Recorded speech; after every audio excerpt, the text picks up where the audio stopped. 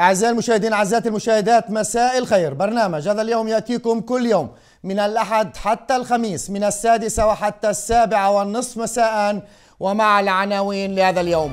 النيابة العامة في لواء حيفا تقدم لائحة اتهام ضد الشاب محمد مسعود جبارين وقاصر من أم الفحم بتهمة. التخطيط لتنفيذ عملية طعن في مدينة الناصرة والانتماء لتنظيم داعش. بعد الكشف عن تبادل رسائل نصية بين محقق عن هيئة الأوراق المالية الإسرائيلية وقاضية في محكمة الصلح في تل أبيب نقل الملف 4000 بيزك ليدي القاضي الطيباوي علاء مصاروي للنظر بتمديد اعتقال المشتبه بهم في القضية. والمحكمة تقرر إطلاق سراح معتقلين وآخرين للحبس المنزلي. من هو القاضي ابن الطيب علاء مصاروي الذي تسلم أبرز وأهم ملف متداول اليوم في البلاد؟ لليوم الثاني على التوالي استمرار إغلاق كنيسة القيامة احتجاجا على فرض ضرائب وحجازات على الحسابات البنكية للكنيسة. مقتل مرام عكر أبو النعاج من دبوري وإصابة طفلها وشخصين آخرين. بحادث طرق مروع قرب مدخل القرية. توقيف أكثر من أربعين مشتبها ببيع أسلحة ومخدرات في الشمال. جمعية كيان تطلق حملة لترشيح نساء عربيات في أربع بلدات شفا عمر وعرابي وزلفي سالم وعسفية للعضوية في انتخابات السلطات المحلية المقبلة. بعد قليل سنكون في شفا عمر للتحدث مع رفاع عنبتاوي مديرة الجمعية ببث مباشر. ما مدى شيوع ظاهرة صرف الشيكات قبل موعدها مقابل عمولات في الوسط العربي؟ أوديف فرومكين صاحب تطبيق لصرف الشيكات يجيب عن هذا السؤال وأسئلة أخرى لهذا اليوم. طلاء بيوت باللون الأزرق في قرية جسر الزرقاء بإطار مشروع جسر من الألوان. بعد قليل سنكون مع صاحبة الفكرة والمشروع. ببث مباشر. مركز مواهب في الناصرة. يحتضن الطفلة الطلبة أصحاب المواهب من منطقة الناصرة في شتى المجالات. الطلاب في ضيافة هذا اليوم. الرابر أحمد جوهر من مدينة الرمل يغني للسلام والتسامح ويعرض قضايا الشباب. بعد قليل سيكون معنا في الاستوديو عامر عواودي من كفر كنا يعرض تاريخ البلدة من خلال كتاب. كفر كنا تاريخ وتراث. بعد قليل سنكون في كفر كنا للتحدث مع الكاتب والمؤرخ ببث مباشر. هذه العناوين في برنامج هذا اليوم عبر القناة الفضائية. هلا ببث حي ومباشر ونبدأ. قضية 4000 بيزك تحمل دائما المفاجآت. هل الكشف عن تبادل رسائل نصية بين قاضية في محكمة الصلح في تل أبيب وأحد المحققين في هيئة الأوراق المالية سيكون له تبعات على السلطة القضائية. وهل سنشهد قرارات من قبل وزيرة العدل ورئيسة محكمة العدل العليا بهذا الخصوص؟ وكيف ينظر المحامون والحقوقيون لنقل هذا الملف الكبير ليدي القاضي علاء مصار ابن مدينة الطيبي؟ في وقت يدور فيه الحديث عن أكبر الملفات التي يتم تداولها في البلاد والخارج. ومثل هذه المواقف هل تؤثر على مكانة القضائيين والحقوقيين؟ العرب. حول مجمل هذه التساؤلات وغيرها أستضيف معي هنا في برنامج هذا اليوم المحامي.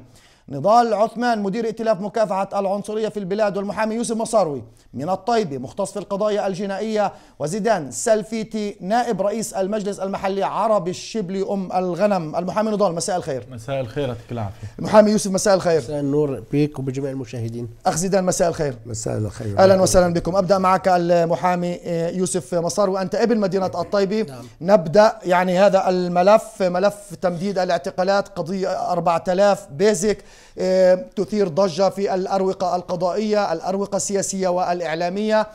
ونقل هذا الملف ليدي القاضي علاء مصاروي ابن مدينة الطيبة ويعتبر هذا أكبر ملف.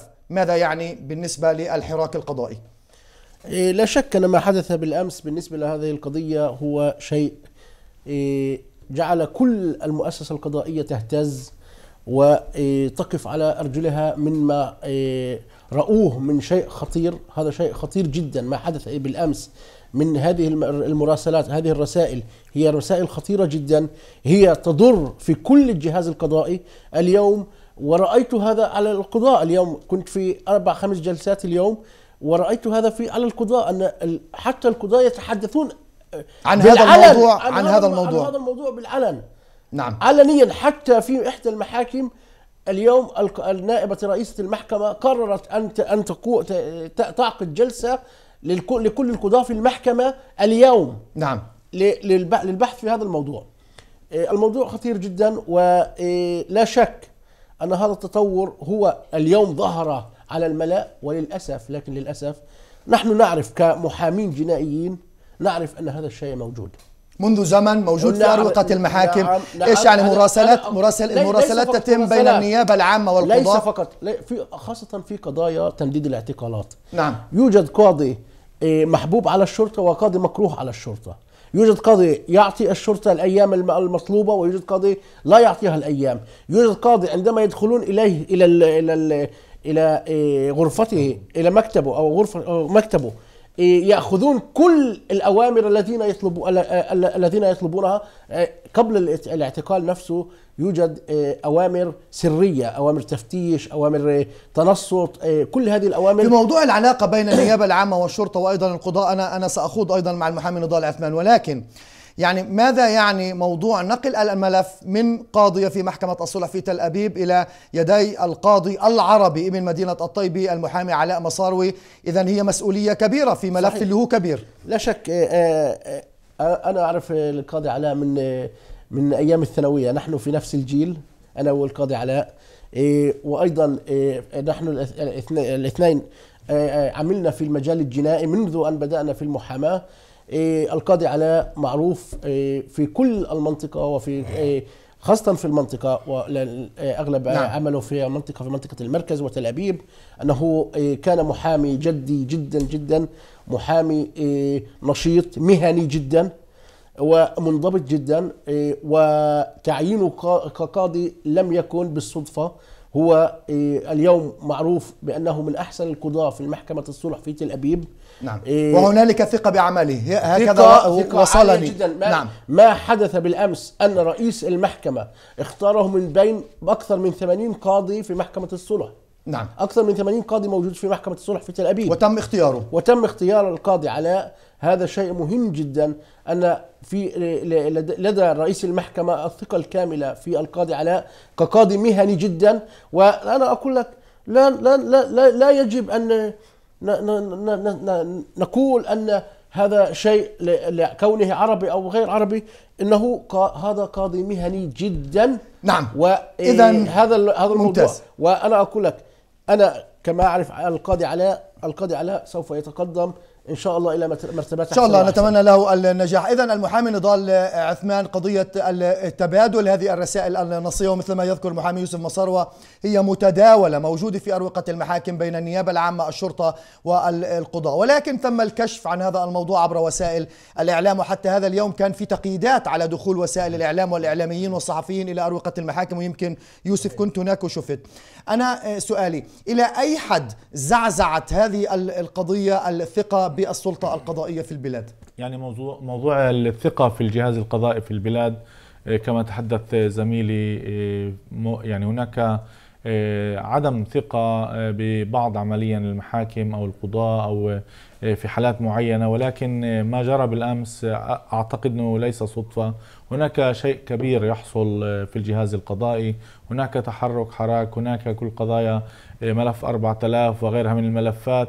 وهناك هذا أعتقد بتحليلي المتواضع أنه هذا جزء من حملة ضد الجهاز القضائي. ليس أن لدي ثقة كبيرة في الجهاز القضائي ولكن الجهاز القضائي في إسرائيل آه، آه، على مستوى آه، فوق الجيد في أدائه حسب تقييمنا عمليا وعملنا في المحاكم في السنوات السابقة وعمل الزملاء ومن خلال المراق- مراقبة الجهاز. ولكن على ما يبدو آه، ما تم الكشف عنه أمس وما تم عمليا من خلال آه، المراسلة ما بين المحامي آه، من الادعاء في آه، سلطة آه، الأوراق ال- تداول الأوراق عمليا وما بين القاضية وأمور موجودة ضمن الجهاز نعم. هناك من يعني كنا نتحدث عنها سابقا بما يخص القضايا الأمنية وتمديد الاعتقالات بما يخص الأسرى والمعتقلين الفلسطينيين وغيرهم وهذا يحدث على ما يبدو في أيضا في القضايا الجنائية الأخرى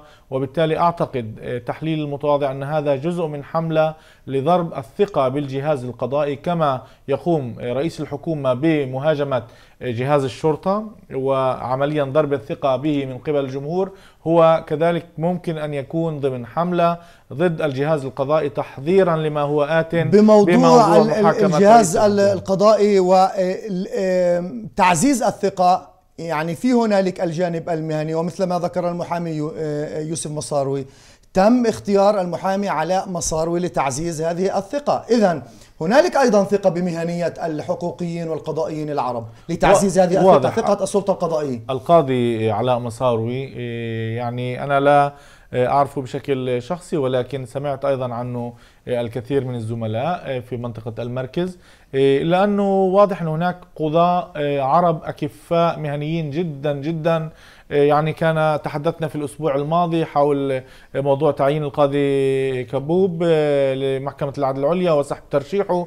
في مجمل الجهاز القضائي هناك قضاء عرب نعم. مهني من أعلى المستويات المهنية. ويعني الحقيقة تقول الآن ان تم إعطاء هذا الملف ليس بالملف الهين ولكن هذه مرحلة تمديد الاعتقالات وليس الملف نفسه يجب الفصل ما بين تمديد الاعتقالات وما بين النظر نعم. بالملف نفسه فيما بعد أخ زيدان سلفيتي إذا ملف 1000 و2000 تقديم توصيات للمستشار القضائي للحكومة حتى الآن لم يقل كلمته الأخيرة في هذين الملفين في عندنا ملف 4000 تتراكم الملفات تباعا هل رئيس الحكومة وفقا لتوقعاتك وأنت لك تواصل أيضا مع مؤسسات وزارية وحكومية يؤدي مهامه هذه الأيام كما يجب؟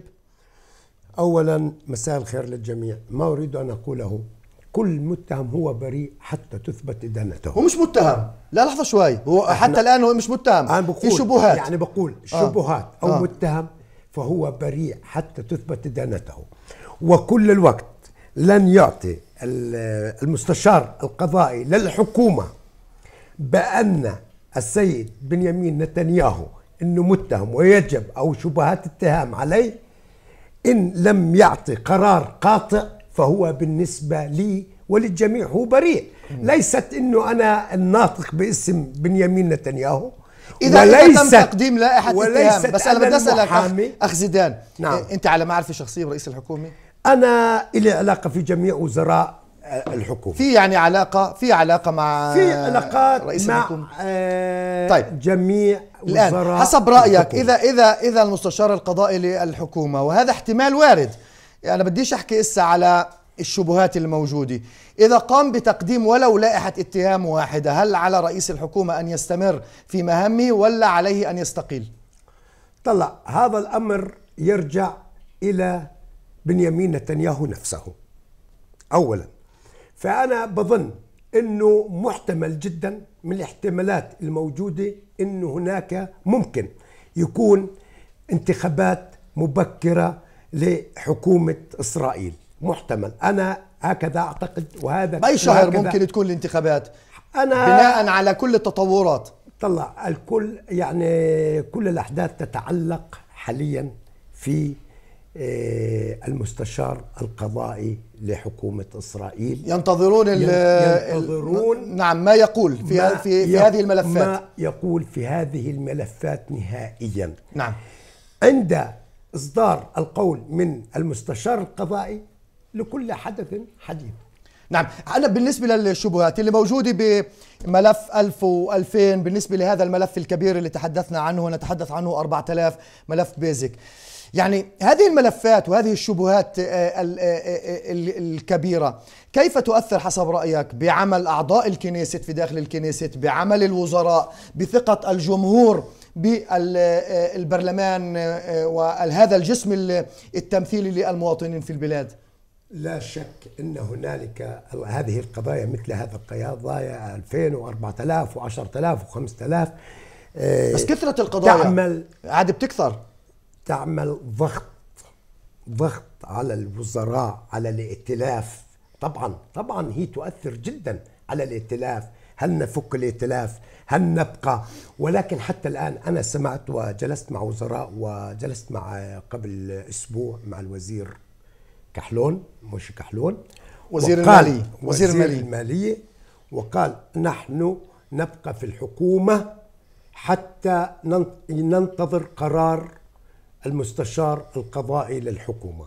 نعم آه، آه، المحامي يوسف مصاروي في موضوع في ملف آه، 4000 بيزك تم التوقيع على آه، أنت بتعرف يعني اتفاقية ملك. شاهد ملك. هل آه، ستشهد الأيام المقبلة توقيعات اتفاق, اتفاق توقيع اتفاقيات أخرى لشهود ملك آه، من خلال هذا ال- الملف اللي أثار ضجة سياسية كبيرة؟ لا أشك آه، آه، توقيع آه، بالأغلب آه، توقيع آه، اتفاقية شاهد ملك تكون عندما يكون آه، بالأغلب ال- الم- ال- المتهم أو ال- أو المشتبه به في في في, في الاعتقال على قيد الاعتقال. وما رأيناه أنه الأغلب آه، آه، أطلق سراحهم واذا لم يطلق سراحهم خلال يوم أو يومين يطلق سراح الباقي. آه، بس وهناك بس شاهد الملك هو مدير عام وزارة أوكي. ال- هو- الاتصال سابقا. هو يعني هو شخصية كبيرة. أنا بحكي لك إنه هو وقع على اتفاقية وهو قيد الاعتقال نعم أنا بحكي لك إنه الضغط على ال- ال- المعتقلين أو الضغط على المشتبهين بخف لما يطلق سراحهم هم بيحاولوا دائما يوصلوا لشاهد ملك في حالة الاعتقال فشاهد الملك وقع وهو معتقل حتى مدة اعتقاله ل 15 يوم مشان ينتهي التحقيق في كل الملف يعني عادة إذا ما بيكون هناك إثباتات ضد شاهد الملك حتى يقوم في هذه الصفقة مع آه، المحققين مع الشرطة يعني على ما يبدو واضح بهذا الملف إنه في إنه أدلة. ملف في أدلة. في أدلة ضده وبالتالي. أنا بقول لك لإنه- أفضل إنه يخرج بهاي الصفقة كشاهد ملك ولا يتم سجنه أنا بقول لك شو لأن أنا بقول لك هو حسب حسبهم في حسب الملف هذا إنه شاهد الملك اللي هو فيلبر كان ح- حلقة وصل بين إيه، ألوفيتش وبين نتنياهو. okay؟ هسه ال- الشهادة اللي هو تبعي صاحب صاحب شركة آه، آه، صاحب بيزك بيزك. نعم. شهادة فيلبر لوحده لا تستطيع إدانة نتنياهو. يجب إضافة شهادة أخرى لها نعم آه، حسب حسب متابعتك للأمور المحامي وتواصلا المحامي نضال عثمان وتواصلا مع حديث المحامي يوسف مصاروي.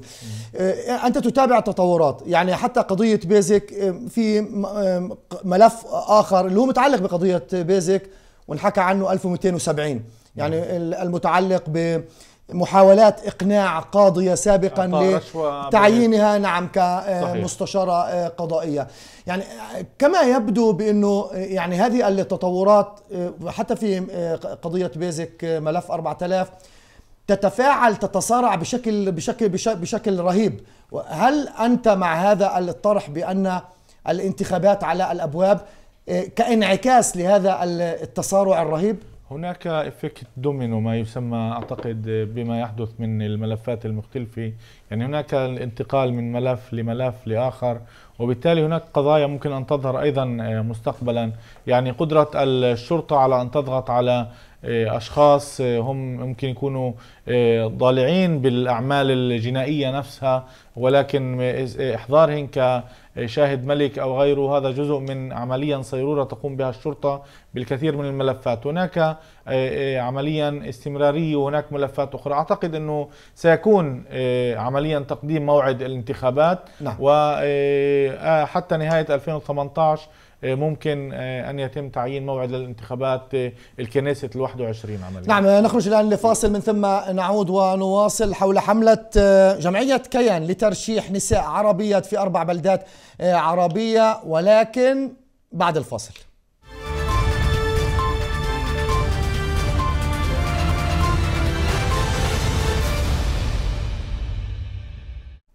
نعم عدنا من الفاصل. جمعية كيان تطلق حملة لترشيح نساء عربيات في أربع بلدات عربية شفا عمر وعرابي وزلفي سالم وعسفية.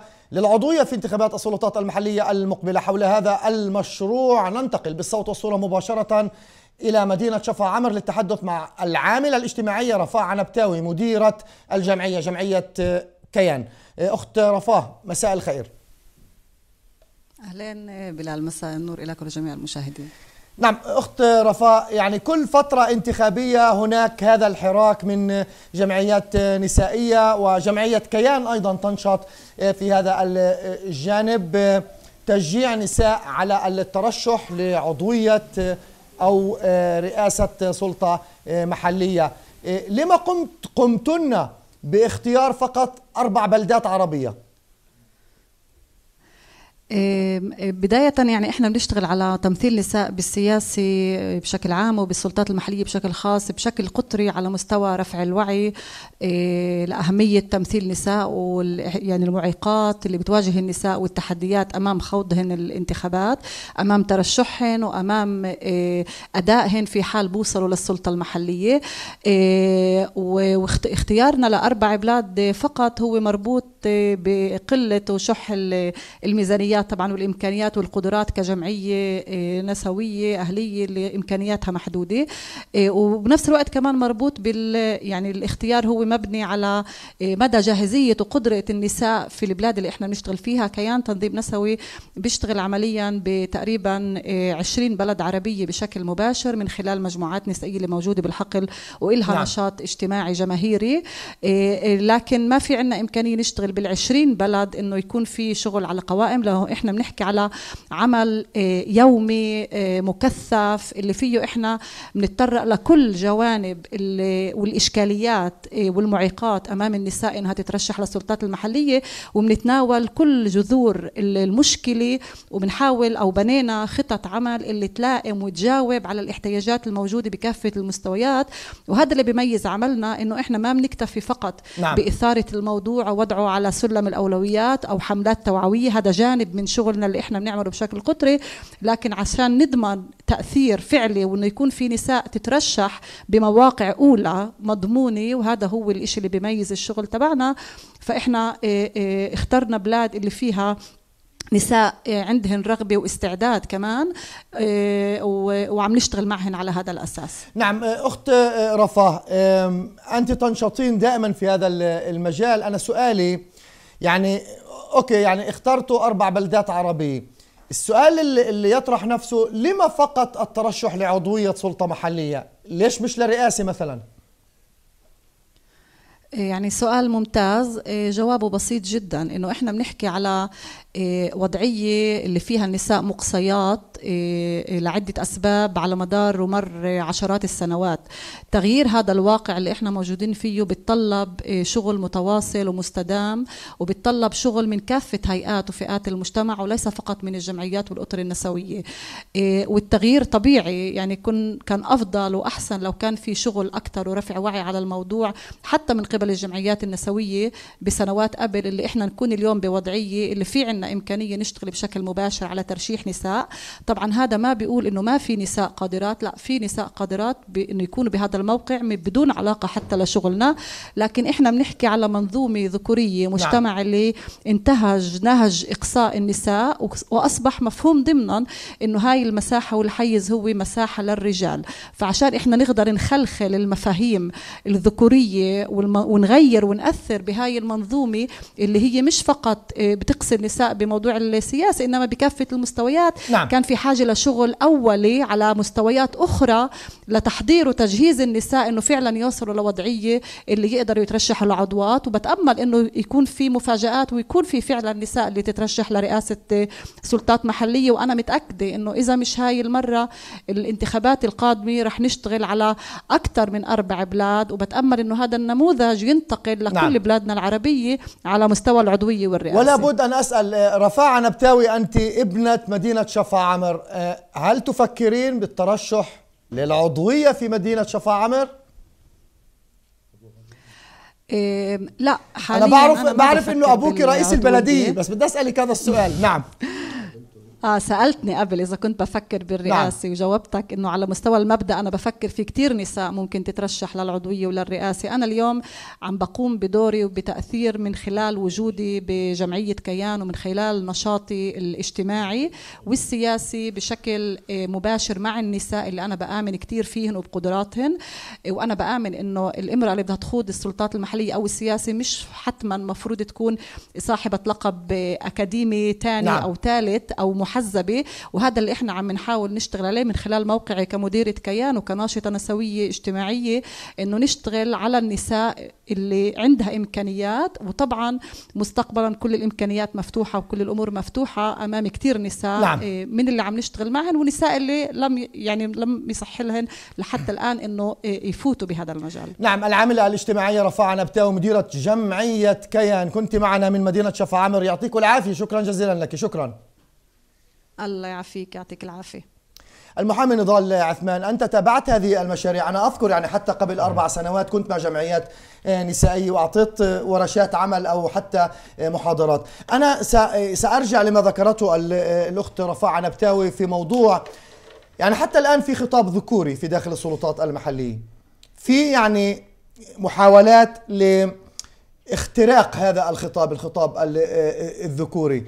هل تنجح الجمعيات النسائية؟ هل تنجح النساء بإيصال صوتهن إلى ال- الجمهور؟ فيما يخص الترشح للعضوية وأنا سأضيف حتى الترشح لرئاسة سلطة محلية خلينا نقول إنه بانتخابات ال 2013 كان هناك ارتفاع بنتيجتها بعدد النساء الممثلات كعضوات في السلطات المحلية، كان قبل سبعة وصلوا 12 وصفوا على 10 آه، ولكن آه، كان هناك ارتفاع في عدد النساء الموجودات كعضوات في السلطات المحلية، هناك يعني مقولة أنا برددها آه، وهي صحيحة برأيي إنه كل زلمة بينفع يكون عضو وبنجح يكون عضو مجلس محلي عشان يرفع إيده وينزلها. نعم. بس لما بدنا امرأة تكون عضوة مجلس محلي لازم تكون سوبر وومن ومعها شهادات. هناك عشرات إذا مش مئات النساء في مجتمعنا. في كل بلداتنا من دون استثناء قادرات انهن يكونوا عضوات ورئيسات آه، آه، آه، في المجالس المحلية والبلديات العربية الموجودة في الداخل.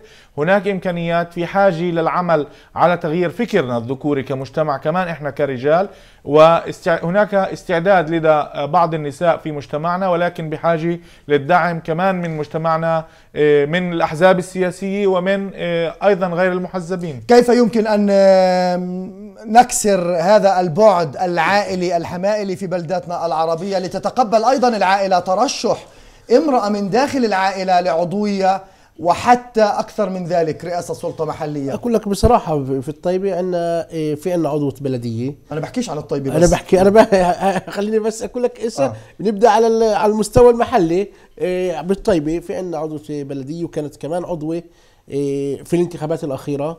إيه، صحيح إنه الإطار هو إطار عائلي ولكن نحن نعرف إنه في ال- النساء إيه، إيه، يخضن إيه، تجارب ولهن يوجد نساء رائدات في عدة مجالات في مجالات التعليم وفي مجالات الطب وفي مجالات المحاماة وال- والقضاء أيضا. نعم. ولكن للأسف ال- النمط العائلي للانتخابات المحلية في السلطات المحلية العربية يمنع هذا هذا الشيء. ولكن إذا قررت أنا للأسف الشديد أعود إلى العائلة.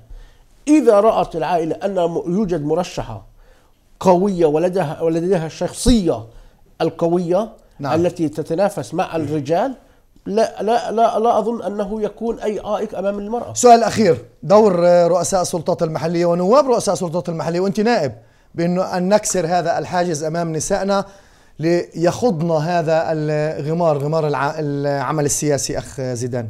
كيف؟ حقيقة أنا لا مانع بأن تكون المرأة أو النساء أن يكونوا عضوات في المجالس المحلية أو كرؤساء أو كرئيسات ولكن حقيقة هنا المشكلة ليست فقط في العائلة المشكلة هي في الوسط العربي كله إنه بعدنا إحنا آه، عقولنا لن تستقبل حتى اللحظة هاي بإنه مرأة تقودنا كرئيسة مجلس طب هنا في مشكلة. معناها طبعاً في هذا التفكير. في, في مشكلة كبيرة وعلى التفكير هذا لازم ينشغل كثير.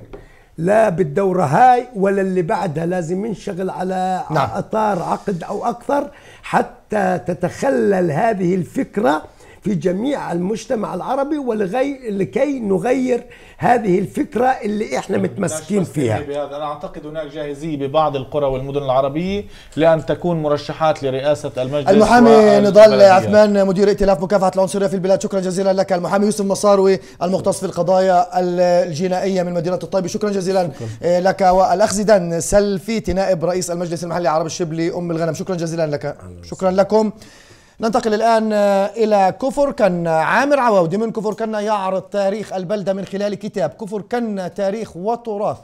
ماذا يعرض الكاتب في هذا الكتاب؟ ما هي أهم المعالم في كفر كنا ننتقل بالصوت والصورة مباشرة إلى كفر كنا للتحدث مع عامر عواودي كاتب مؤلف ومؤرخ. أخ عامر مساء الخير.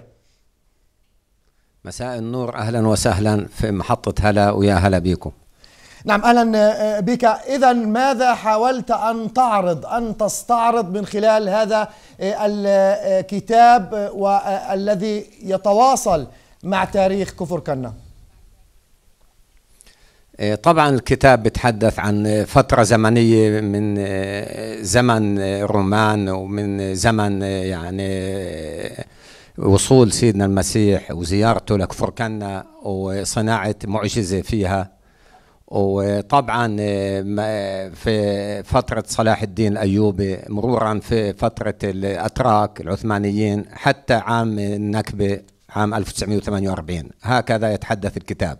ما هي أهم المعالم التي آه، آه، استحضرتها في هذا الكتاب؟ طبعا المعالم كما ذكرنا إنه في كنيسة العرس اللي هي سيدنا المسيح صنع معجزته الأولى في كفر كنا. عندما زارها يعني قبل أكثر من 2020 عام قبل 2000 عام لأنه هو ميلاده كان قبل 2018 عام. طبعا أجا هو يعني كفر كنا ما يعني يقارب قبل 2000 عام. فهناك في كنيسة العرس اللي هناك عمل معجزة حول الماء إلى خمر فيها.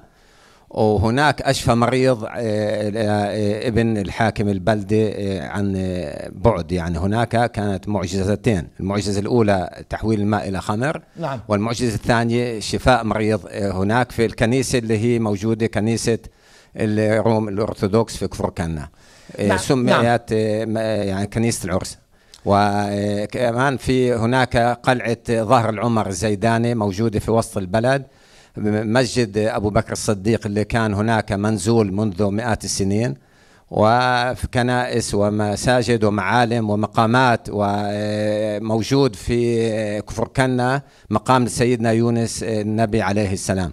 نعم أخ, أخ عامر لابد من السؤال.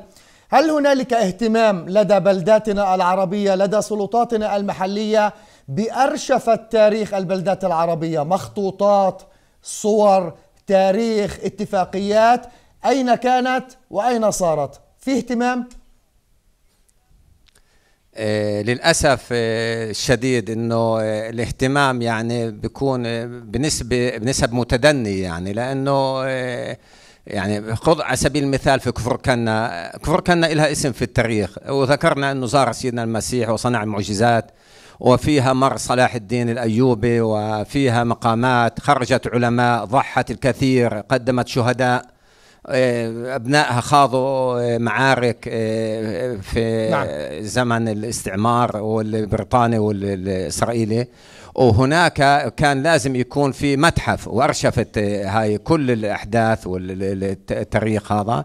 لكن للأسف إنه ما في اهتمام في هذا الموضوع. أنا يعني كان في لي مقابلة مع مدير دائرة الآثار في كفر كنا وسالته السؤال إنه أنتم بتيجوا هنا وكفر كنا في لها يعني تاريخ وفي معالم نعم. وفي آثار وقطع أثرية باخذوها على المتحف القومي في تل أبيب. سألتها أنا وحدي كانت هناك مديرة الآثار وحكيت لها إنه إحنا أحق بالشيء هذا. قالت مزبوط إنه اعملوا متحف وإحنا حاضرين نرجع نعم. لكم كل هاي القطع الأثرية. أخ عامر حكينا عو... مع نعم. نعم. نعم أخ عامر عواودي الكاتب المؤلف والمؤرخ للكتاب حول تاريخ كفر كنا. شكرا جزيلا لك. شكرا.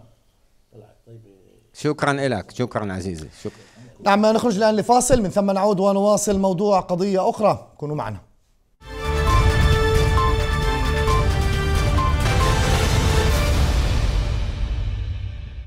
عدنا من الفاصل مشروع جسر من الألوان طلاء البيوت المحاذية لشارع الشاطئ في بلدة جسر الزرقاء باللون الأزرق بهدف تحسين وجه القرية معنا هنا في برنامج هذا اليوم المصممة المعمارية عنات كوهن هاليفي لتحدثنا عن المشروع بروجكت جيشر של צבעים בג'סר א-זרקא מהווה מודל לשינוי בחזות פני הכפר באמצעות צביעת המבנים במקום, מאיפה עלה הרעיון ואיך התושבים מקבלים אותו. איך אנו יכולים לשמור על הנוף החיצוני כחלק מהמרחב הציבורי. יחד איתנו האדריכלית, מעצבת הפנים, בעלת הרעיון, היוזמת, גברת ענת כהן הלוי. גברת ענת, ערב טוב. ערב טוב, בגלל. שלום, שלום. אז פרויקט לשנות את החזות, את הנוף, ופחות או יותר להשפיע על נוף פסטורלי כזה, אז מאיפה עלה הרעיון? לפני כמה שנים עברתי בכביש החוף, כמו כולם. בפעם, אני לא יודעת כמה, ליד הכפר, חלפתי על פני הכפר, והייתה לי מחשבה שהבתים שמדורגים שם על רכס הכורכר יראו כל כך הרבה יותר יפה אם הם יהיו צבועים. עבר קצת זמן, עזרתי אומץ, וניגשתי לראש המועצה הקודם, עזלדין עמאש, עם הרעיון. אה, דוקטור עזלדין עמאש. נכון. הוא היה אצלנו בתוכנית. כן, כן, כן. הוא קיבל את הרעיון בברכה והכניס אותי לכפר, ממש ככה פתח את הדלתות, אחר כך בבחירות התחלף ראש המועצה, לראש המועצה שמכהן עכשיו, שייח' מוראד עמאש, גם הוא מאוד אהב את הרעיון. וגלגלנו את זה ביחד, זאת אומרת, הרעיון היה לאפיין את הכפר ולייחד אותו בצבעים כחולים בגלל שזה הר כזה כחול, בגלל הקרבה לחוף הים ובגלל שהכפר מזוהה עם כפר הדייגים. העברנו את הרעיון במועצה. אז אנחנו מדברים על החלק ששוכן לכביש החוף? כרגע זה שלב ראשון של הפרויקט ונצבעים בתים שבאמת רואים מכביש החוף, כשהמחשבה והכיוון זה לאפיין את כל הכפר או כמה שיותר, מי שירצה להשתתף בפרויקט. הפרויקט כרגע בשלב הזה הוא יקיף 25 עד 30 בתים. חברת נרלט תורמת את הצבע. ברוחב תרומה. לב, תרומה של 4,000 ליטר צבע של חברת נרלט, ומשרד התיירות באמצעות משרד החמ"ת מממן את הצביעה לכמות הזו של הצבע. מבחינתי זה שלב ראשון, אבל יש צורך מבחינתי זה בהמון פיילוט. משאבים ותקציבים, ואני תמיד מארח תושבים מהמקום הזה. מקום שהוא אה, שוכן אה, במחוזות של חוף, ים, נוף, כמו שאמרנו, ש, שאמור להיות הנוף הפסטורלי, אפילו מהיפים ביותר כאן בארץ. אבל זה מצריך יותר אה, השקעה מצד משרד התיירות ומשרדי הממשלה. אני מסכימה איתך לגמרי. אה, אני חושבת, אני מקווה שהפרויקט הזה יהיה התחלה של איזשהו תהליך שם, שזה יניע איזשהו תהליך. הפרויקט הזה אה, בעצם מדבר על הרבה דברים, הוא עוסק בהמון המון תחומים, כמו הדימוי העצמי של הכפר הזה, של תושבי הכפר, כמו הדימוי של הכפר בעיני אנשים מבחוץ. אה, זה פרויקט שמושך המון תשומת לב, אני מקווה שגם את תשומת הלב של משרדי הממשלה. יש הרבה מה לעשות בכפר. כולם, אני חושבת, מבינים שהדרך להרים את הכפר הזה זה דרך אה, מינוף של כלכלה מקומית מבוססת תיירות, וזה בא באמת למשוך תיירים ומבקרים אל הכפר. אה, יש הרבה מה לעשות חוץ מהדבר הזה, זה נכון. למה בחרתם בצבע כחול? אז עוד פעם, בחרנו בכחול בגלל שזר כזה כחול, בגלל הקרבה לים, ובגלל שהכפר מזוהה מאוד עם כפר הדייגים. ג'יסר א-זרקא זה מקום מאוד מאוד מיוחד, ולעניות דעתי היה צריך גם בנראות לעשות משהו מאוד מיוחד שיאפיין את הכפר וייחד אותו לא רק ברמה הישראלית, אלא בכלל ברמה בינלאומית. ויש אנשים, תושבי המקום שהתגייסו על מנת להתנדב בפרויקט הזה? הפרויקט לא מבוסס על מתנדבים. לא, בכל מקרה, יש אנשים שהתנדבו ללא שום קשר. שהתנדבו לעשות מה? לצבוע? לצבוע, להשתתף, כן, אז, לעזור. אז בצביעה אין צורך במתנדבים, בגלל שמשרד התיירות מממן 아, את הצביעה. הוא מממן, כן. כן. את הצבע, עוד פעם, תרמו נרלט, אה, ברוחב לב. אבל התושבים מאוד מאוד בעד הפרויקט. גם לפני שהתחלנו עם הרעיון, אני הכרתי את הכפר לעומק. אני בעצם, כשנכנסתי לשם בפעם הראשונה, אני ממש לא הכרתי את הכפר. ואני במשך שנה וחצי הסתובבתי שם ועשיתי הרבה דברים אחרים, והכרתי את התושבים, דיברתי מה, עם מה ראית התושבים. שם? מה ראית שם, גברת ענת? מה ראיתי מאיזה בחינה? מה ראית? הסיטואציה, המצב הסוציו-אקונומי של האנשים, תראה. התשתיות, מה ראית? המצב- כאדריכלית גם כן. המצב של הכפר ידוע לכולם, זה כפר עם הרבה קשיים, הרבה בעיות, גם מבחינה סוציו-אקונומית וגם מבחינות אחרות. אה, אבל צריך להתחיל איפשהו. מה שעוד ראיתי כשנכנסתי לכפר אה, די מהר, אה, זה, זה שזה זה קסם של מקום. אני דיברתי עם הרבה מאוד אנשים שעבדו בהתנדבות בכפר בכל מיני עמותות וכל מיני תוכניות, כשניסיתי להכיר את הכפר ולהבין מה קורה שם, ונתקלתי כל הזמן בשאלה, כבר התאהבת? וכל אחד אמר, יש לי מקום בלב לכפר הזה, ואם את צריכה עזרה אני אעזור. יש משהו כובש, מי שמשאיר את החששות בחוץ, ואת הדימוי בחוץ, ומעז להיכנס נקי, פוגש שם קסם של מקום. אז הוא יכול לשוט ולשחות. אז, אז אה, אפשר כן. מאוד ליהנות, זה, זה אה, מקום ש- די מדהים. ש- שאלה אחרונה, המודל הזה, המודל של הפרויקט שאת יזמת, את אה, את הטמעת גם כן, עכשיו הטמעת את זה בתודעה הקולקטיבית של תושבי המקום, של התושבים בג'סר א-זרקא. הוא נמצא במקומות אחרים במדינה? אז אה, כשאני, כשבאתי בפעם הראשונה לראש המועצה ורציתי להסביר לו מה, מה הרעיון, אז עשיתי גוגל על כפרים צבעוניים בעולם. גיליתי שיש לא מעט כפרים צבעוניים בעולם, כל אחד בצבעוניות אחרת לגמרי, וכולם מוקדי משיכה לתיירים. מסתבר שאנשים נמשכים לצבע. אז כן. ועל זה אנחנו בונים. וזה משפיע על נפש בני האדם. מאוד. מאוד. מאוד. גברת ענת כהן הלוי, אדריכלית מעצבת פנים, יוזמת הרעיון, תודה רבה לך. תודה, תודה. רבה לך בילאל. وننتقل لموضوع آخر ظاهرة صرف الشيكات قبل موعدها مقابل عمولات كم هي شائعة هذه الظاهرة في الوسط العربي وأيضا هنالك تطبيق يتعلق بظاهرة صرف الشيكات مقابل عمولات معي هنا أودي آه، صاحب آه، أودي فرومكن صاحب تطبيق لصرف الشيكات ما מידת התפוצה של תופעת אה, ניקיון הצ'קים במגזר הערבי ובאיזה נסיבות או מקרים זה מתקיים, מה עם הריבית שנגבית מהלקוחות והאם בכלל השוק מוסדר. איתנו כאן בתוכנית היום הזה בערוץ הלוויין הלא טבעי, מר אודי פרומקן, מנכ"ל אפליקציית צ'קינג אה, לניקיון אה, צ'קים. אה, מר אודי, ערב טוב. ערב טוב, בלال. שלום, שלום. אהלן. אז אה, קודם כל נתחיל בתופעה, התפוצה של אה, תופעת אה, ניקיון צ'קים במגזר הערבי, ואם יש אפשרות לשטוח בפנינו את ההשוואה עם המגזר היהודי. כן, בהחלט. התופעה של ניקיון צ'קים בכלל היא תופעה מאוד מאוד אה, אה, מרכזית בשוק האשראי בישראל. המקור שלה זה בדרך כלל אה, אותם חברות, גופים, בדרך כלל עסקים קטנים ובינוניים, שלא מצליחים לקבל אשראי מלא לרוב הפעילות שלהם במערכת הבנקאית הרגילה. אה, גם במגזר היהודי וגם במגזר הערבי התופעה מאוד נפוצה. שוק האשראי הוא החוץ-בנקאי בתחום ניקיון צ'קים הוא בסדר גודל של, של עשרות מיליארדי שקלים אה, כן. בשנה. אה, המגזר הערבי בהחלט מאופיין בשימוש יתר בתופעה. אה, זה נובע מכך שבמגזר הבנקאי, הנגישות של המגזר הערבי למערכת הבנקאית היא יותר נמוכה. אה, אז מעדיפים להשתמש בניקיון צ'קים כי זה נזיל, נגיש, יש נובע- בו קלות מס- מסוימת. כן, זה נובע א' מחוסר ברירה, כי צורכי אשראי קיימים, ואם אה, עסק צריך אה, לשאת בתשלומים ולעמוד בהתחייבויות שלו, אז, והוא לא מצליח לקבל את כל המימון שהוא צריך במערכת הבנקאית, אז הוא נעזר בניקיון צ'קים, שלמעשה זה לקחת צ'ק דחוי ולהפוך אותו למזומן בניכוי אה, עמלת אה, ניקיון.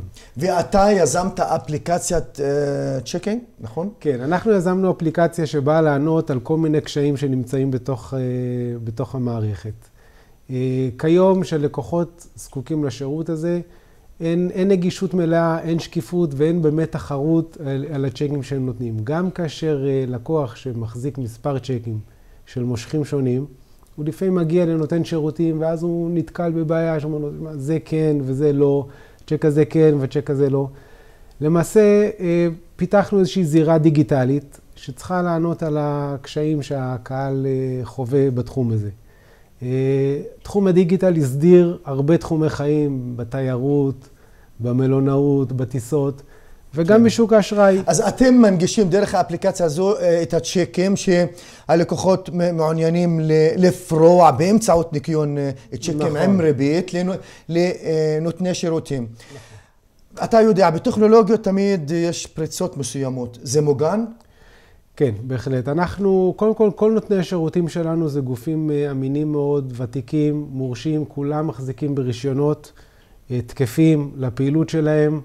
אה, זה לא שוק שחור ולא שוק אפור, אה, זה שוק מאוד מסודר, לגיטימי, שעובר כרגע מהפכה רגולטורית מאוד מאוד משמעותית. אה, קם רגולטור חדש במסגרת רשות שוק ההון, הביטוח והחיסכון. אז איך הלקוח יכול לוודות ולהיות בטוח שנותן השירות באפליקציה, או הוא לא גורם מסוים שהשחיל את עצמו מהשוק השחור אל תוך הדיגיטל? לא, אצלנו, אמרתי, נותני השירותים הם מפוקחים והם אה, כולם חברות מורשות, אה, חברות אה, רציניות, יש לנו פריסה גיאוגרפית מדרום עד צפון, ומי שמעלה את הצ'ק זוכה להתייחסות בבת אחת של עשרות נותני שירותים. הם קובעים את המחירים בהתאם לרמת הסיכון שהם מבינים מהצ'ק, שזה תלוי בחברה שכתבה את הצ'ק, זה תלוי בחברה שמחזיקה את הצ'ק. זה תלוי במשך הפירעון, יש הרבה מאוד גורמים שמשפיעים, אבל בסופו של מקום הוא שם את זה במקום עם אה, תחרותיות ועם שקיפות. בקשר לתחרותיות, האם האפליקציה הזו והשוק שמתנהל או מתנייד יכול להוות אה, גם כן איזשהו נדבך שמתחרה עם הבנקים כאן במדינה? אז תראה, המערכת הבנקאית, היתרון המרכזי שלה שהיא יותר זולה. הבעיה היא בדרך כלל שהיא לא נגישה באופן מלא. יש חברות שממש הן לא נותנות להן בכלל אשראי, יש חברות אחרות שהן נותנות אשראי שהן יכול אה, לכסות רק חלק מסוים מהפעילות שלה, ולכן הרבה מאוד חברות נזקקות לשירותים משלימים בשוק החוץ-בנקאי. היתרון הגדול הוא שבדרך כלל בתחום ניקיון הצ'קים, התמורה שבן אדם מקבל עבור הצ'ק הדחוי היא מלוא ערך הצ'ק בניכוי עמלת, אה, העמלת אה, ניקיון. להבדיל מערכת הבנקאית, ששם בדרך כלל אה, מקבלים 70 אחוז, 60 אחוז אה, מערך הצ'ק. האם התופעה של ניקיון צ'קים מהניסיון שלך, אה, מר אודי, זה קשור גם כן במצב אנשי העסקים, המצב הכלכלי של אנשי העסקים, או אפילו המצב הסוציו-אקונומי של התושבים, ש... הם נדחפים לפינה אה, בכדי אה, להיכנס ולנקות את הצ'ק. כן, בהחלט. אני חושב שלמצב הכלכלי בכלל ולמוסר התשלומים ש... שמלווה את כל ענף, אה, יש השפעה ישירה על רמת הצריכה של השירות הזה. לדוגמה, בענף הבנייה. זה ענף מאוד מרכזי בתחום ניקיון הצ'קים, בערך 40% מה, מהצ'קים מגיעים מקורם בענף הבנייה והתשתיות, שזה ענף שהוא מאוד דומיננטי במגזר הערבי. במגזר הערבי. כן. ניקיון צ'קים, ענף בנייה. כן, ועכשיו, בדרך כלל התשלומים שמתחילים מלמעלה הם תשלומים דחויים. אז אם קבלן יש לו הוצאות שהן הוצאות במזומן, יש לו שכר עבודה, והוא צריך לשלם דלק, והוא צריך לרכוש חומרי בנייה, והוא מקבל את התקבול שלו בשוטף 60 או בשוטף 90, נוצר לו פער גדול שהוא חייב לגשר עליו באמצעות ניקיון. ניקיון. הריבית נעה בין כמה לכמה? הריבית זה עוד פעם, זה, זה, זה נגזרת של רמת הסיכון של איזה, מי כתב את הצ'ק, איזה חברה, כמה היא ותיקה, כמה היא אמינה, אבל זה יכול לנוע בין 2, 3 אחוז, אה, אחוז וחצי, שלושה... תלוי. כן. زوا تخروت مرؤودي فرومكن من كال ابليكاسيا تشيكينج لنكيون تشيكم تضرب لها تدعى على مدع نخرج الآن لفاصل. من ثم نعود نواصل موضوع قضية أخرى. كونوا معنا.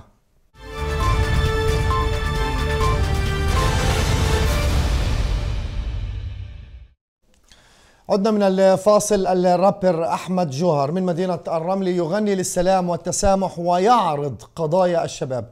ما هي القضايا التي يطرحها من خلال أغانيه بأي أسلوب يطرح هذه الأغاني؟ معنا هنا في برنامج هذا اليوم أحمد جوهر رابر وممثل وملحن من مدينة الرملي. أخ أحمد مساء الخير.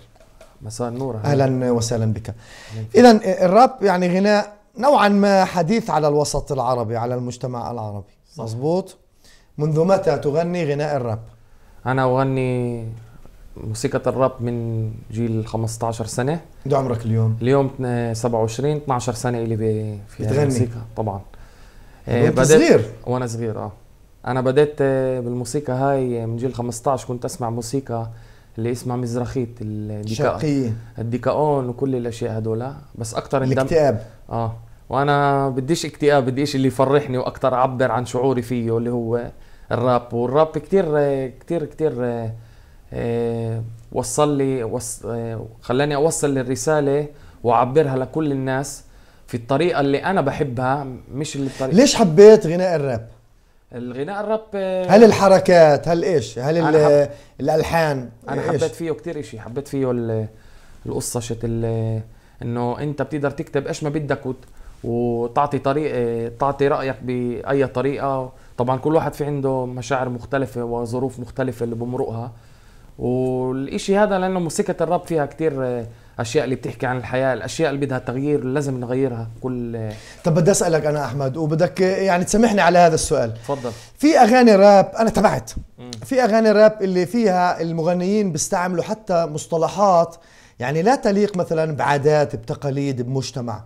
صح. شو رأيك؟ آه، الإشي هذا بشكل عام أنا يعني أنا بحكي إنه في يعني في مغنيين آه. حتى من من الغرب من الأجانب اللي بيستعملوا مصطلحات واحيانا مصطلحات غير أخلاقية آه، طلع أنا يعني الإشي هذا أنا بفكر إنه الإشي اللي آه، لو إنه الإشي هذا مش منيح كان أنا ما اندمجتش لإله ولا ولا خشيت فيه واختلطت فيه بس الإشي اللي أكتر إشي أنا يعني مش إنه بجرب أقلد الأمريكان ولا بجرب أقلد كل.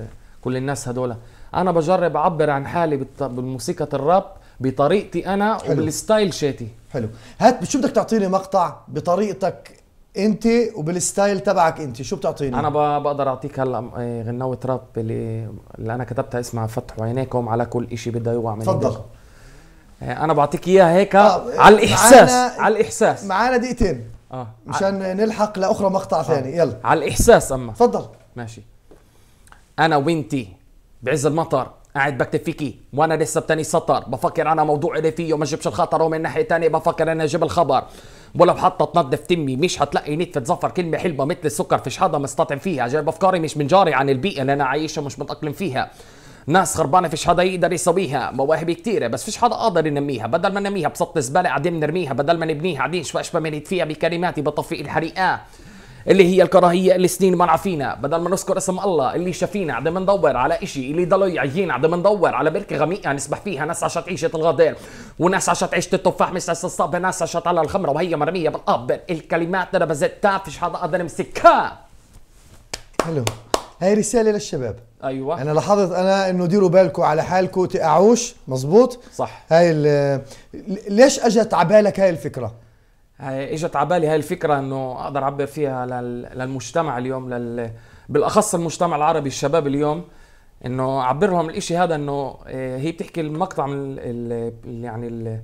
ال פזמון بيحكي إنه الشعر اللي الشعر موجود. آه نعم. بيحكي إنه فتحوا عينيكم على كل إشي بده يوقع من إيديكم. يعني يعني بد... آه، إنه امسكوا الاشي اللي راح يوقع من إيديكم. يعني دير بالكم من الأشياء يعني هذول. ديروا بالكم على حالكم. صح. احموا حالكم. صح لازم تحمي حالها يعني أنت بتشوف العنف بتشوف الجريمة بتشوف مرات ظواهر اللي هي مش. منيحة للشباب. أنت عايشها؟ أنا عايشها عايشها وكاتبها. وبمرقها برسالة طريق الراب للناس عشان تقدر تتعلم يعني منها. انت عاشرت انت تبعت انت رافقت أصدقاء حتى موجودين في الرملة صح. شايف وبدك تأثر أنا أنا كبرت ببيئة يعني زي. بقولها ب... يعني ب- بستحيش زي اللي بيجري يعني البيئة اللي أنا كبرت فيها طخ قتل مشاكل بين عيال طواش آه، قتل على على شرف العيلة زي ما تقول وأنا قاعد بالدار بكتب أغنية شمطوا حجر على داري كسروا الأزاج عشان يعني زي ما تقول عشان بيكرهوني الناس والحجر يعني قدر يقتلني الحجر لو إني ما بعدتش كتير كتير أشياء بدها تغيير عشان هيك أنا بغني الراب عشان أقدر أغير تغير. أغير. لو غيرت اخوذ واحد من الإشي هذا أنا يعني نعم. وأنت بتغني أغاني للتسامح والسلام وقلت لي قبل البرنامج إنه في أغاني راب باللغة العبرية. صح. بدك تعطيني مقطع؟ في العبريه اه طبعا اشي اللي يكون للتسامح للسلام في يا سلام اه تفضل آه، في غناوة اسمها آه، عالم شل بني ادم اللي هي بتحكي آه، عن برضه دويت مع آه، مع شخص يهودي اللي انا بغني معاه آه، اسمها אנשים לא מתייחסים לבעיות שהם בכלל עושים, זורקים כאן צרות ובורחים ומשאירים אותם לאנשים ש, ש, ש, ששלום הם רוצים. רצינו לשנות את המצבים בעצמנו, הלכנו עם הדרך שהיא לא יפה עלינו. وكل الاشياء هذول نعم. هاي مقطع صغير يعني اعتقد حلو آه. آم، لو لوين حابب يعني لوين حابب هاي العروض تصل آه، انا حابب أحمد. انه صوتي يوصل لكل العالم حتى للجلاكسيوت يعني يوصل انه الناس تعرف عني بكل كل طريقه انه اكون زي ليجند لكل الناس اللي يقدروا ياخذوا مني الفكرة المنيحة ال- المحبة السلام يتعلموا كيف يتعاملوا كبني آدمين كيف يقبلوا بمحبة الغير هنا بالدولة بالدولة هاي بين شخص بين يهود وعرب لازم المحبة تكون بيناتهم دائما وهذا الإشي اللي كتير يعني أنا آه، بدقق عليه باغانيه نعم. وفي قلت لي في مفاجأة في شخص اللي عمل آه، شخصية دمي اللي دويت. لا دمي دمي لعبة لعبة مزبوط آه هذه الشخص آه قلت لي؟ قلت لي قلت لي إنه أيوة. بدك تشرح لي إيش هاي هذه الشخص هذه زي ما تقول إنه أنا آه، هذه زي آه، إيش بيقولوا آه، زي. علم علم علم للسلام مم.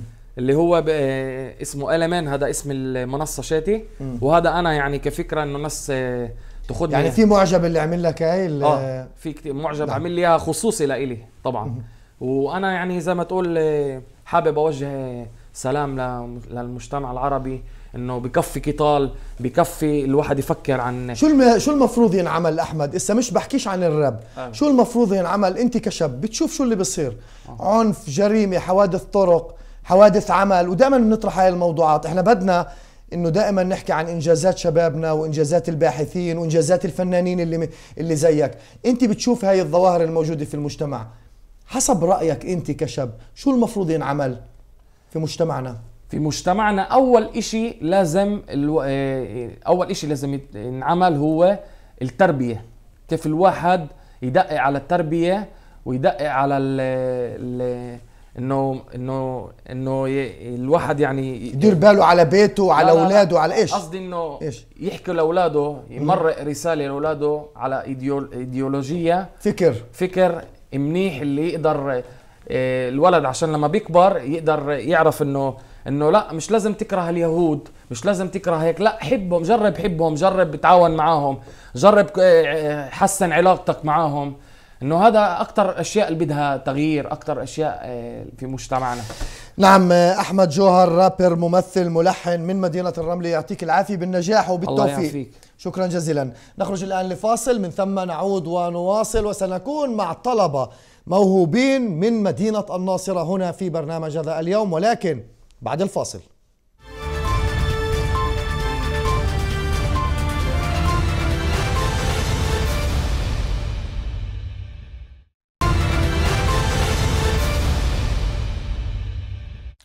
عدنا من الفاصل. مركز مواهب. يحتضن طلاب منطقة مدارس الناصرة في دورات وورشات عمل لتنمية المواهب والمهارات الحياتية. ماذا تمنح هذه الورشات للطلاب وكيف يشعر الطلاب في هذا المركز؟ معي هنا في برنامج هذا اليوم شمس حسين طالبة صف ثامن من المدرسة الإنجيلية في الناصرة وميس طارق قص طالبة الصف الخامس من مدرسة راهبات المخلص في مدينة الناصرة. وسيرين أبو راس طالبة الصف التاسع في المدرسة الإعدادية في علوط.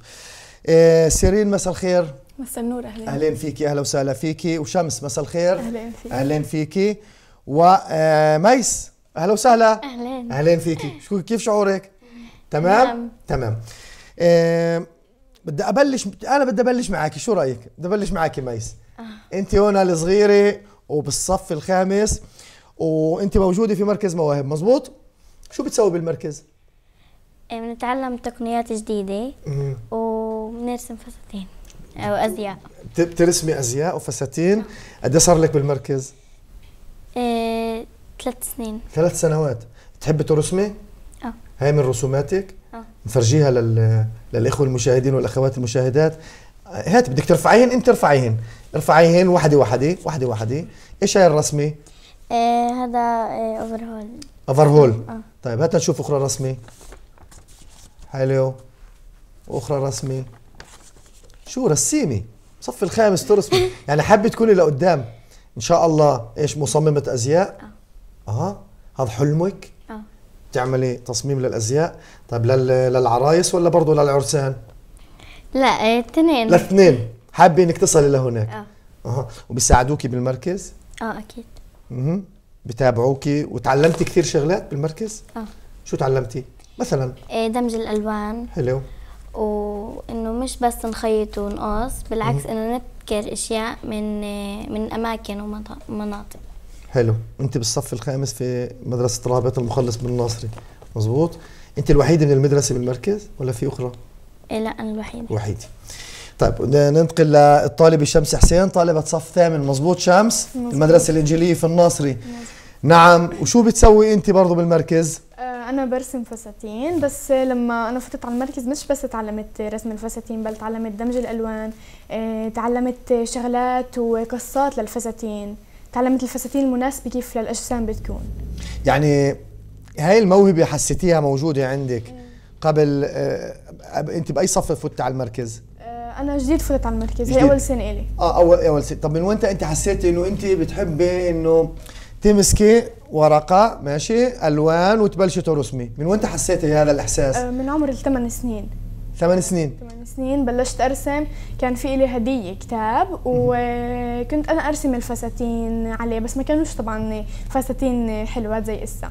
يعني تطور الرسم تطورت الكتب لحديت ما أنا صرت أرسم الجسم لحالي وأعرف إيش هن الفساتين المناسبه لكل جسم الألوان آه، فرجيني هيك من يعني. الرسومات. يلا هات نشوف واذا ممكن تشرحي لي هيك على السريع كل رسمة. إيش هاي هاي من الورد الجوري.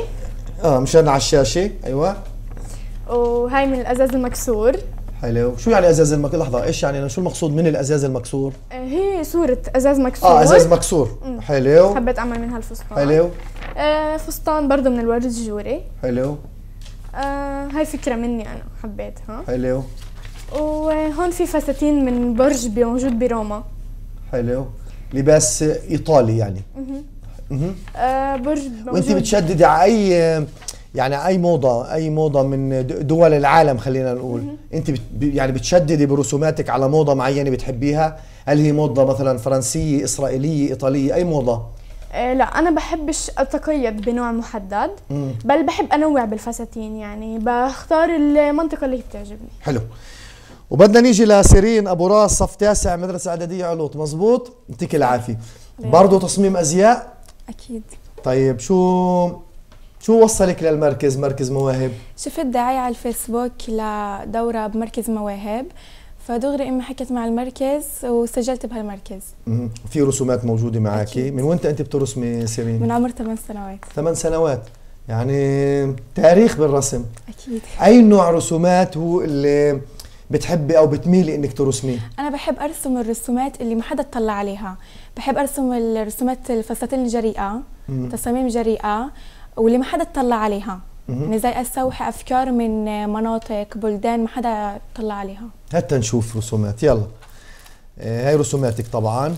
أكيد. هاي آخر سنة الرسومات ولا برضه رسومات من سنة وسنتين؟ لا هدول الجداد. جداد شو هاي الرسمة؟ هي أنا مني حبيت هيك أرسمها. أنت. طيب. هاي أخرى رسمة. عملت معه collection لون أسود ارفع وفضي. آه، ارفع شوي مشان شو أيوه. حلو. في هون استوحيت الفكرة من المسامير. مسامير. شيال. المسامير. هذا مني. أنا هيك حبيته. في هون من الكاش قش أمم. يعني بلوزة من القش آه حلو. أو فيك تقول قمح وهيك شغلات. هذا مني أنا. حلو. إيه حابة لقدام يعني تصيرين في هذا العالم تصميم الأزياء أكيد حلمي أفتح آه، دار حلمك؟ أزياء خاص فيي أترك فيه بصمه للكل يشوفوا مثلا آه، هذا الفستان دغري يحكي هذا آه، تصميم إلك. سيرين أبو راس و- دغري يعرفوا إنه هي يعني. حابة هذا حلمك دار للأزياء باسمك يعني اسمك ال- الإعلاني يعني يكون لإلك أها دغري يعرفوا من التصميم طيب أنا. أي أي مثلا أنا سألت هذا السؤال برضو ل- لشمس. أي تصميمات أزياء في دول العالم أنت بتحبيها؟ بتشوفي إنه بتستهويكي أنت؟ أنا بحبش حدا معين بحب أحضر كل العروض وهيك. في كمان أنا بحضر أكثر إشي لإلي صعب. فيك- مصمم الأزياء اللبناني لا؟ آه. أها. وبحضر يعني مش إشي معين. نعم. وبنرجع هون للطالبة المتفوقة آه، ميس غير الأزياء ميس. أنت أنت بالمدرسة بصف الخامس مزبوط؟ آه. يعني لقدام إن شاء الله إن شاء الله بعد ما تخلصي مدرسة حابة تروحي على جامعه تدرسي أزياء ولا إشي ثاني لا أزياء. بس أزياء. آه. يعني من إسا حطيتي براسك بس أزياء. أها. يعني أنت إذا في مثلا آه، عرض أزياء معين آه، بتشوفيه ب- بتتابعي مثلا؟ بتتابعي؟ آه. بتحبي يعني هاي الشغلات؟ أها. طيب بدك توجهي مثلا شكر معين لمين بتوجهيه إسا؟ بوجه شكر خاص لمركز مواهب. واللي هن دعموني وشجعوني إني أوصل لهي المرحلة. مين المعلمات؟ كان معلمات هون بدكش تشكريهن مين هن كريستين عواد وريم شحبري. آه هن طبعا حضروا بانتظاركم وهن فخورات فيكم أنا بعرف يعني. ونعم شو بتوجهي الطالبه شمس آه، بوجه رسالة للمعلمة ريم لأمي. آه، شكرا لدعمكم شكرا لتعبكم معي ولوصلتوني لهي المرحلة. نعم. وسيرين. بوجه شكر لأمي اللي خلتني أفوت هيك دورة وشجعتني ولمعلمه ريم اللي هي علمتنا تقنيات جديدة. بتلاحظوا إنه أنتم من مدارس يعني مدا في مدرستين هنا عندي يعني أنتم ممثلات لمدرستين من الناصري وفي برضه مدرسة من علوط. في دعم من قبل المدرسة لهذه المواهب. شو شو, شو بتسمعوا؟ تفضلي. معلمتي ومديري كتير كتير بيشجعوني والمدير طبعا بيعرف إنه أنا إسا بمقابلة. وهن بتابعوكي إسا. الزملاء والزميلات بتابعوكوا نعم بدك تحكي شيء بالنسبة لدعم المدرسة؟ دائما إيه. بيشجعوني على هاي الموهبة وبيشجعوني إني أستمر. مم. ميس شو بيحكوا أولاد صفك وبنات صفك بالمدرسة؟ إيه، بقولوا إنه كتير تصاميمي إيه، إنه حلوات وبقدر إني أطور إنه أطور هاي الموهبة وأنميها أكثر إن شاء الله وبالنجاح. وأنا متأكد رح تنجحي بهذا المجال. أنا متأكد. الطالبة ميس طارق قص طالبة الصف الخامس مدرسة راهبات المخلص في الناصرة. شكرا ميس وبالنجاح وبالتوفيق. والطالبة شمس حسين طالبة صف ثامن المدرسة الإنجيلية في الناصرة. شكرا. بالنجاح وبالتوفيق. والطالبة سيرين أبو راس طالبة الصف التاسع إعدادية علوط بالنجاح وبالتوفيق. شكرا. شكرا جزيلا لكم. أهلا وسهلا فيكم. إلى هنا ننهي برنامج هذا اليوم عبر القناة الفضائية. هلا ببث حي ومباشر. أشكر الزملاء والزميلات الذين واللواتي رافقوني من خلال هذا العمل برفقة المحررة الرئيسية لبرنامج هذا اليوم فريدة جابر برانسي مخرج البرنامج ساري جابر. أعزائي عزيزاتي كان معكم بلال شلاطة نلتقي. بأمان الله.